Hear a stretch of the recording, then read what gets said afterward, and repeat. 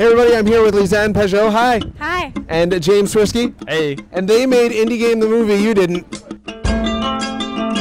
And they're on tour with it. And I came to see the tour and sold out show. And how are you guys feeling? This is incredible. Yeah, it's kind of neat to have two sold out shows here in Boston. Turning people away is weird. It's like a two-person operation with some help from Adobe. Is that right? Oh, Adobe is like a, a big part of the tour. Like they basically funded it and made it possible. But yeah, we take the tickets, we sell you a T-shirt, we do the intro, we'll go up and do the QA, we'll tell you to leave, we'll tell you where the bathroom is. We're running very lean. Running very lean. Yeah. Yeah, and that's been going on for how long now? We've been touring. We've been on the road since mid-February. So Whoa, you must be toast. what month is it? Yeah. Where is the tour going? When's it going to end, and how's it going to culminate? Yeah, so we have a few more dates left. We have Philadelphia and Washington, and we're showing uh, in New York for a, an event which is sold out. But uh, we're doing we're actually opening in New York as like a real film. So on May 18th, we're going to be in. It's a real film already. But like gonna- a real opening, it's going to be in New York and stay in New York for some time. it's going to stay in New York for a week. It'll be in LA, Seattle, San Francisco, Phoenix, Phoenix, Miami, and Toronto, uh, Toronto, and Austin.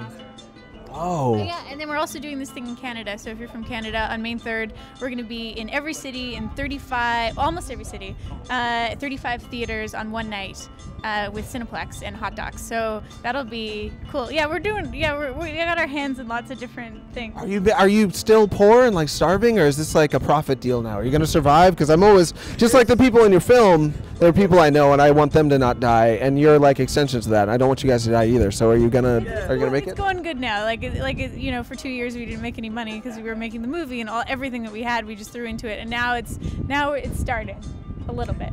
Start starting. Yeah. Yeah. We're not gonna die anytime soon. Uh, but we're not Scrooge McDuckin stuff. Right, right, right. You're still at that. Wow, what a nice level to be at. You're not like worried about all your money yet, and you're not starving either. You're right in- It's a right in wonderful level. Yeah. Yeah. Yeah, Yeah. yeah, that's yeah. where we're at. Have you thought about what you're gonna do next? I want to have a nap.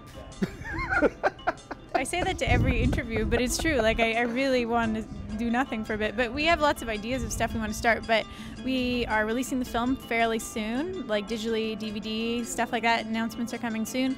Then we're making a special edition, which is going to be awesome, and it's going to involve a lot more developers than are in the film. Not that the developers in the film aren't good. They're Right, but you had a whole like three and a half hour version with 20 different uh, developers at one point. It was about the whole indie scene almost. Yeah. Yeah. Then you narrowed it down to kind of a narrative experience about the the main. so we're guys. reworking all that. Yeah. And uh, then what are we doing? Then we're doing project number two, whatever that is. Uh, yeah, we yeah we got like good ideas, and I want I want to start shooting soon. Uh, you really? Yeah, I totally do. It's because yeah, for like ten years I like shot something like every two weeks or something, Uh-huh. and I haven't picked up a camera and like made something for I don't know eight months. You've been selling tickets and talking Yeah, about yourself. Like all the business and of, of like getting this movie out there and just birthing the movie has like taken over everything, and then and that's cool and a neat challenge. But it's yeah, I need to make something. Do you want to make a reality show about video game developers? Because I know these Octodad guys. You know the Octodad guys? Yeah, yeah, they all yeah They all live in a house, and they're like pitch a show when you see That's them. So funny. We just talked to them in, in, in Chicago, and they said that, but they're like, "Wow, you look so tired." No, Uh, Phil Fish, controversial dude. We both like him. I like him a lot. Um, you have any comment on kind of the stuff that spurred it up in his face and how he ended up kind of retreating from the internet all over kind of an offhand comment he made at one of the screenings of this film? Yeah, it's, it's weird when that when that comment kind of came out. Like it, it was you know it, it was a very you know loud kind of comment to start off. What ended up being like a five minute discussion about why they actually do think you know modern Japanese games Japanese games aren't as good as uh, you know 80s 90s uh, Japanese games and kind of like as soon as he said it you could you could you could see like it, it's like it came from his mouth like to a blog headline and it like the internet kind of does what the internet does Sure. and and that's okay because that's what it does uh, but there was like that comment and then there was like five minutes of both like john blow and phil fish talking about in in a rational way why they do think japanese games suck Right. and yeah yeah it's just uh it and that's kind of like one thing i like about the movie is that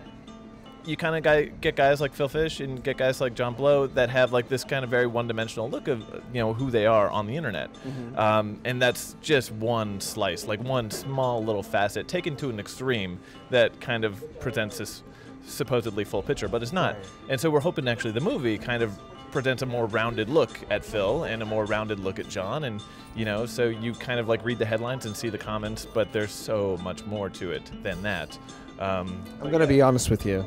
I didn't want to interview after the the movie because after watching the movie, I was like, I suck at this. They gave such a well-rounded, uh, full picture of who these guys are, which I try to do too. And I'm just not doing it as well as you. I'm like, I should just give up and go home. I mean, what you did with the movie is what Phil Fish and all those guys deserve, and we in the blogosphere are trying, but we're just not as good as you yet. oh, did we? It, did Yeah, I moved years. down. No, two years. Uh, like we. You're pretty good. No. Come on. No. I think you're great. I'm so excited to talk to you guys, but I guess I've talked your ear off. Uh, anything you want people to know before we sign off? Oh, uh, come and check it out in theaters if you can, and and if not, it'll be out soon. Yeah. And if you see it, if you see it and you like it, tell a friend. Tell a friend that And it's not even into games. yes. Because that's kind of interesting to us to see how people that aren't into games or think that they're not into games, like what what they'll feel after they watch the movie. Awesome. Yeah, it's a really good movie. I'm in it.